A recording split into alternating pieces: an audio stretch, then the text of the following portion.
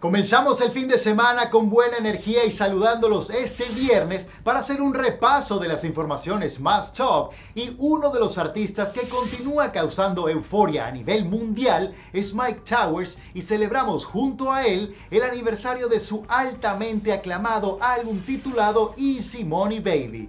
Este disco, que cuenta con 18 temas, llevó a Towers a recibir su primera nominación al prestigioso Latin Grammy en la categoría de Mejor Álbum de Música Urbana en el pasado 2020.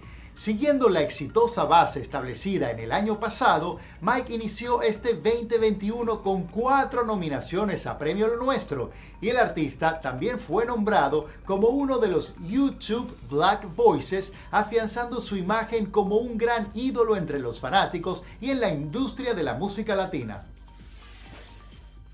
Vamos con el género regional mexicano y es que el intérprete de origen salvadoreño, conocido como el Alacrán de la Sierra, estrena su nuevo sencillo titulado Me están dando ganas.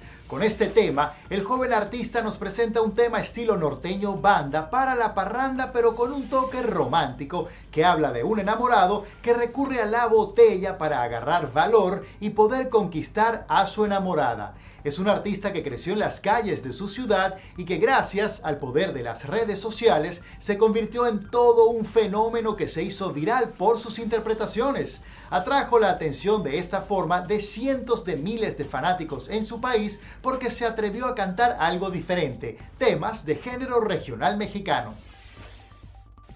Y en un tema totalmente ranchero y de desamor, con una fusión de norteño y banda, el joven cantautor Yari Franco y la agrupación Grupo Corporación se unen para presentar el tema Sírvame otra, especialmente dedicado para todos los adoloridos que sufren por amor.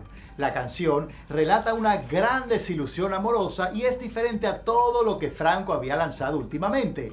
Este tema muestra su gran versatilidad para interpretar diferentes estilos de música y su habilidad para acoplar su voz a distintos géneros del regional mexicano y no solamente al mariachi como nos tenía acostumbrado.